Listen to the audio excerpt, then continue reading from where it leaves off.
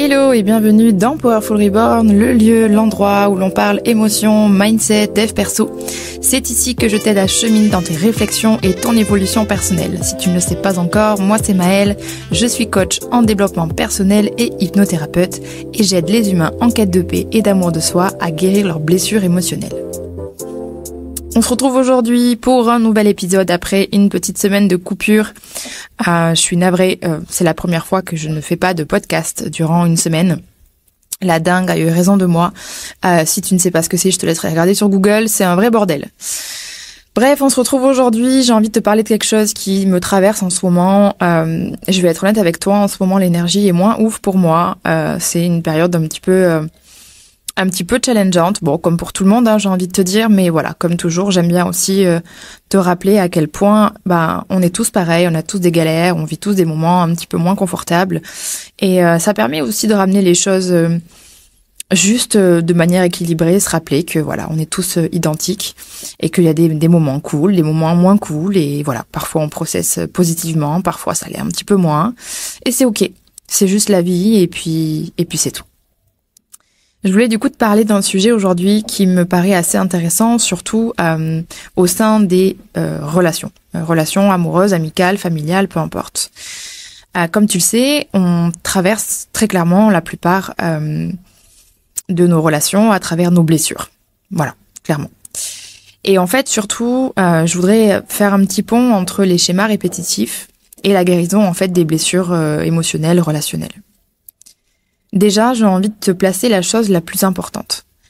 Si tu veux guérir, mais si tu souhaites en tout cas euh, guérir tes blessures relationnelles, tu ne pourras pas les éviter qu'en les travaillant en relation, tout simplement.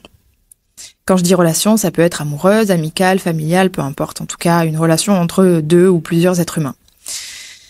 Il y a beaucoup de personnes qui on va dire face à leurs blessures, vont euh, se fermer vont se fermer, vont rester vachement euh, distants, vont rester très craintifs et vont dire ok voilà j'ai souffert, j'ai pas envie de ressouffrir donc bah je vais me fermer un petit peu euh, au monde, je vais me fermer à tout ce qui pourrait me faire mal et puis je vais avancer comme ça.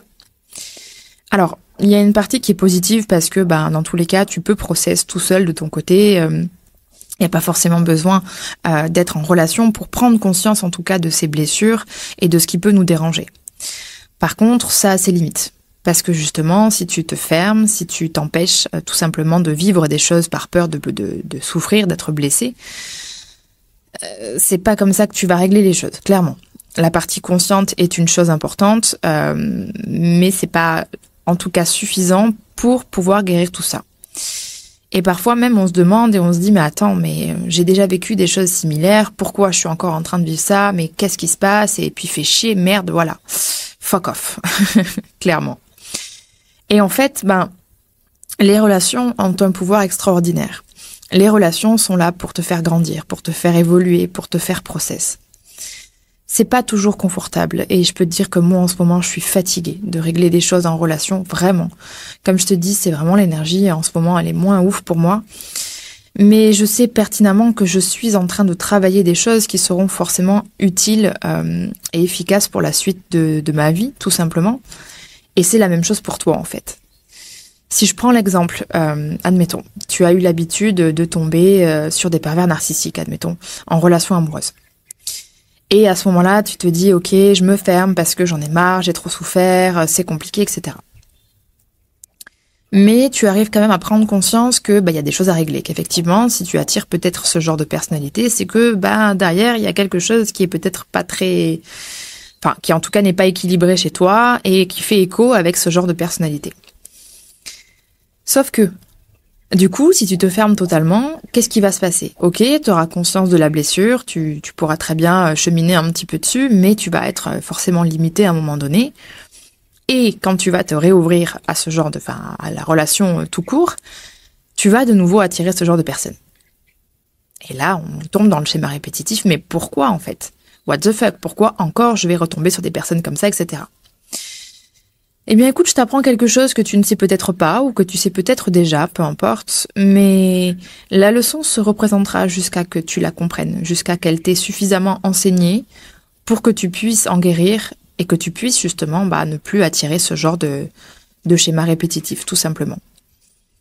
Donc, c'est pour ça que je te disais, tu ne peux pas juste te contenter en fait de d'avancer, on va dire, de ton côté, toute seule, tout seul, euh, de manière consciente, seulement en te disant ah ok bon bah j'ai des blessures, c'est cool, euh, je me rends compte que euh, il y a ça ça ça à régler, et puis voilà je vais régler ça de mon côté, et puis quand je serai guérie, je vais pouvoir repartir en relation.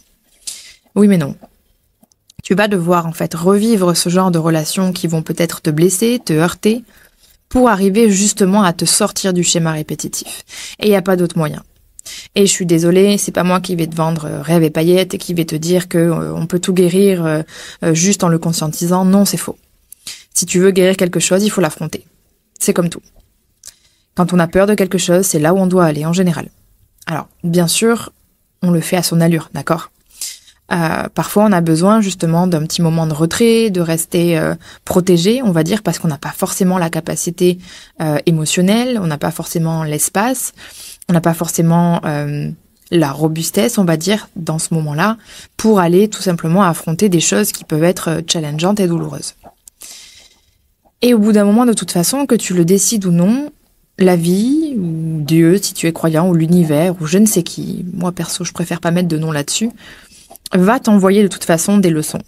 Elle va venir te tester. Elle va te, elle va te renvoyer en fait le même schéma.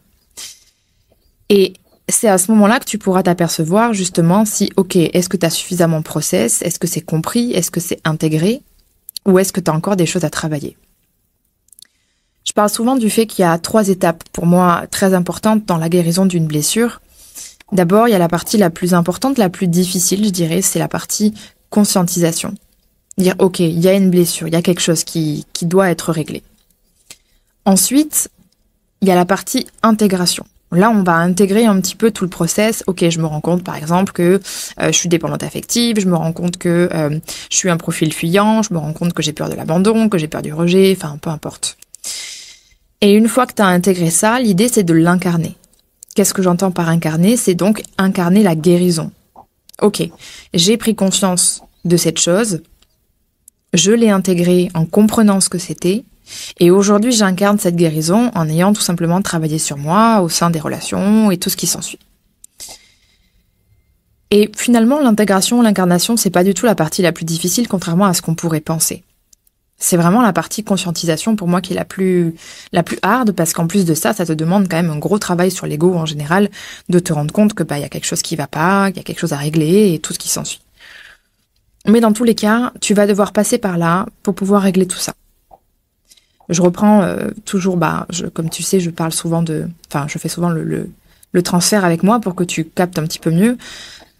Je suis sortie de ma dernière relation en n'ayant pas forcément totalement conscience qu'il y avait encore une bonne part de dépendance affective euh, à régler.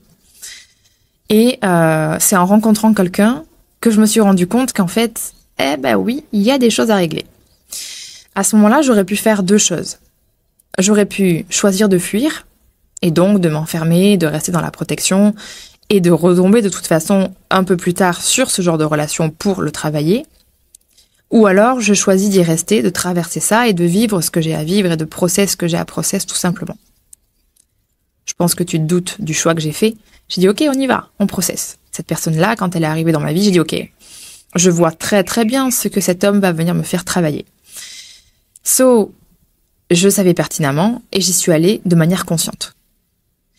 Ça ne veut pas dire que c'est confortable, mais quand on y met de la conscience, on sait pourquoi on y va. Et si on sait pourquoi on y va, on crée de cette façon-là déjà l'espace et surtout on est dans la dynamique de OK, peu importe de quelle façon cette situation risque de me heurter, je sais pourquoi j'y vais et je sais la raison pour laquelle je vais aller régler tout ça.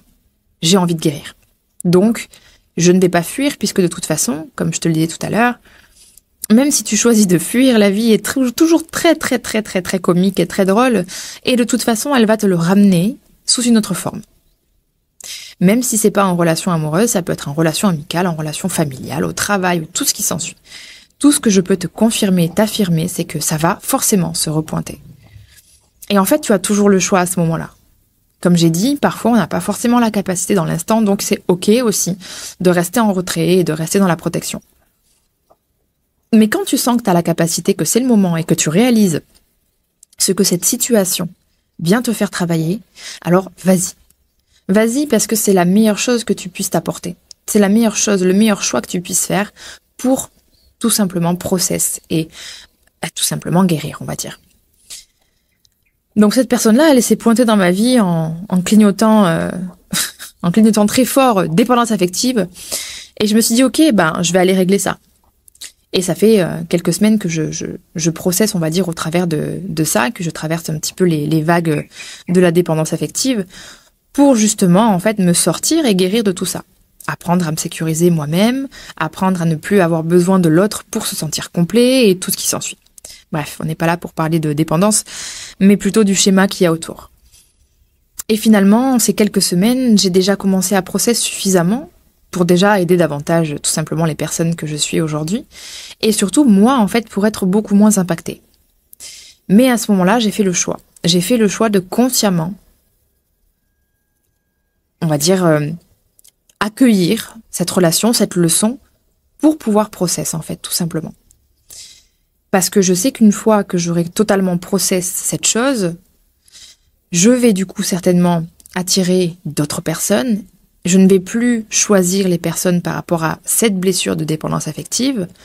Et du coup, je vais pouvoir faire glow up mes relations et avoir du coup bah, quelque chose de beaucoup plus équilibré, de beaucoup plus sain. Mais je ne pourrais pas avoir ça si je ne traverse pas ça aujourd'hui. Donc ces vagues, elles sont pas forcément agréables, et ça je te l'accorde, mais elles sont utiles. Elles ont une grande efficacité, elles ont une grande utilité. Et c'est la meilleure chose, comme je disais tout à l'heure, que tu puisses t'offrir pour avancer par rapport à tes blessures. Vraiment, il n'y a pas d'autre solution. Celui qui pense qu'il va juste régler par la thérapie, par tout ce qui s'ensuit, oui, oui, super, bien sûr, et c'est un support super important. Mais tant que tu n'auras pas guéri tes blessures relationnelles de par les relations, il n'y aura pas une totale guérison encore. Clairement pas. En tout cas, il y aura toujours des triggers beaucoup trop forts pour que tu puisses te sentir à l'aise et que tu puisses te dire, OK, cette blessure, elle est apaisée. Cette blessure, elle est venue être tout simplement, euh, oui, on peut dire guérie ou, juste, euh, juste, on va dire moins, prenante puisque une blessure sera toujours là, telle une cicatrice. C'est juste que, bah, quand la blessure est béante et quand tu as une cicatrice, forcément, euh, la douleur n'est pas du tout la même. Donc forcément, l'idée, c'est d'avoir une cicatrice qui est de moins en moins douloureuse, tout simplement. Donc si jamais tu es dans ce genre de schéma, et peu importe le schéma, hein, vraiment, hein, je, parle de toute relation de manière générale, si tu sens que tu as la capacité, tu as l'espace, l'énergie suffisante euh, pour les traverser, traverse-les.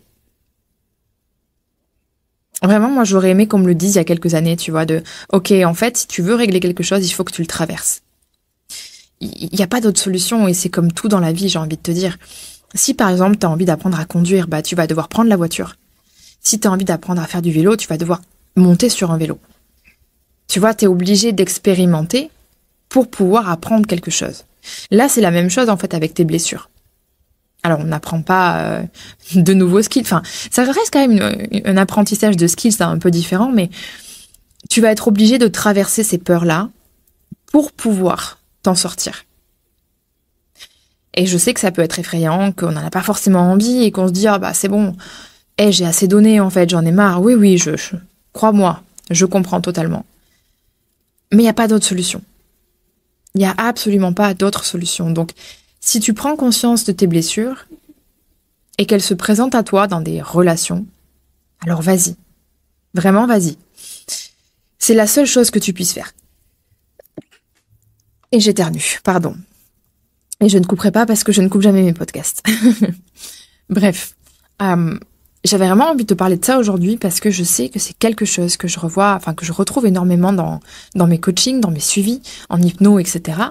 Et, et souvent, j'ai des personnes qui vont me dire, bah, Maëlle, tu vois, là, il y a quelque chose qui se représente à moi. J'ai pas envie. Je, je, c'est trop chiant, c'est trop douloureux. Je préfère qu'on règle ça ensemble. Alors oui, moi, je vais pouvoir t'aider. Je vais pouvoir t'aider euh, à ce que la blessure soit moins forte, à ce que le trigger soit moins lourd, bien sûr, mais tu vas devoir revivre une situation typiquement similaire pour pouvoir réellement guérir. Après, ça peut aussi se faire de cette façon-là, de manière beaucoup plus, euh, on va dire, euh, posée, Dans le sens où, si tu es suivi par exemple par un professionnel de santé et que tu traverses, en tout cas que tu vas te confronter euh, en relation à tes blessures, là l'impact est encore plus fort.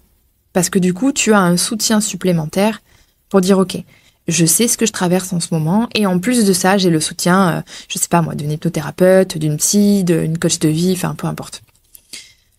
Donc c'est, on va dire, euh, double gain pour toi. C'est encore mieux même, je dirais, d'être accompagné dans ce, dans ce process. Mais de toute façon, que tu sois accompagné ou non, tu vas le traverser. C'est une obligation. C'est extrêmement chiant, mais c'est une obligation. Donc, si aujourd'hui tu te rends compte qu'il y a de grandes blessures, qu'il y a beaucoup de schémas répétitifs, que tu tombes toujours sur le même type de personne, sur le même en relation amoureuse ou en relation amicale, que tu as toujours des conflits familiaux, enfin peu importe. Déjà, là, c'est la première étape pour toi pour dire ok, qu'est-ce que j'ai à régler ici en fait? Qu'est-ce qui finalement euh, doit être guéri? Une fois que tu as pris conscience de ça et que tu sens que tu as l'espace et l'énergie nécessaires pour pouvoir régler tout ça, avec du soutien ou non, hein, peu importe, dans ce cas-là, ouvre les vannes, ouvre la porte et vas-y, mets les mains dans la merde entre guillemets, pour vraiment en fait commencer à process et à voir vraiment en fait euh, à ouvrir, on va dire, le chemin de la guérison. Il n'y a vraiment pas d'autre solution de toute façon. Et tu verras qu'en processant, tu vas finir par guérir, par apaiser tout ça. Et je sais qu'en fait, tu l'as déjà fait inconsciemment, déjà certainement sur plusieurs choses sans même t'en rendre compte. Mais bon, quand on y met de la conscience, c'est toujours un petit peu plus effrayant parce qu'on se dit oula, je sais dans quoi je me fous là, mais pourquoi j'y vais? Mais parce que tu as des choses à régler. Donc ne t'en veux pas non plus de retomber dans les mêmes schémas. C'est normal et c'est ok. Moi, je sais que quand j'ai vu cette personne-là et que je me suis dit eh, merde, je sais qu'il vient réveiller ma dépendance affective, mais je sais pourquoi. Je sais que j'ai du taf à faire là-dessus en fait. Et je ne vais pas le fuir. J'ai choisi de m'y mettre pleinement pour justement pouvoir euh, améliorer tout ça. Et je suis totalement bienveillante avec moi-même et je me dis c'est ok, c'est ok, c'est la meilleure façon pour moi de process et il n'y a pas de problème. Même si je dois reprendre un mur et c'est sûrement ce qui va se passer, peu importe, mais j'ai besoin de prendre ce mur pour process de nouveau, enfin pour process et pour guérir réellement en fait. Parce que souvent, soyons honnêtes, les leçons que tu reçois, elles sont pas très confortables. Et c'est très rare que la leçon se transforme en bénédiction. Hein. Je je vais pas te mentir. Euh, mais dans tous les cas, elle sera une bénédiction future pour tes autres relations. Donc que du positif, même si sur l'instant c'est challengeant et que c'est pas forcément agréable, soyons honnêtes. Donc voilà, une fois en tout cas que tu as pris conscience des blessures à régler, des blessures, des blessures à guérir, pardon, que tu ouvres les yeux face euh, à un schéma répétitif ou une leçon qui s'est déjà présentée mais qui n'est pas encore acquise, vas-y, pour réellement incarner cette guérison. Donc peu importe ce que tu traverses, amour, amitié, euh, famille, euh, au travail, peu importe. J'avais vraiment envie de te partager ça aujourd'hui parce que ça me semble important. Parce que beaucoup de personnes pensent que dans ce New Age dev perso, on règle les choses juste avec euh, des pensées positives, un peu de thérapie et basta. Non, non, non, non, en fait. T'es obligé de mettre les mains dans la crotte au bout d'un moment et il n'y a pas le choix. Voilà. Donc, c'était important que je rétablisse un petit peu la, vérité là-dessus. Et, et puis voilà, tout simplement. Mais juste, il faut être conscient, consciente que c'est un passage, que c'est temporaire comme tout, et que c'est juste quelque chose qui va être utile et important pour la suite de ta vie, tout simplement. Et quand on n'en a pas peur, les choses se passent bien en plus de ça. Et de toute façon, cette peur, elle ne partira pas tant que tu auras pas tout simplement ouvert la porte. Donc, euh, donc voilà.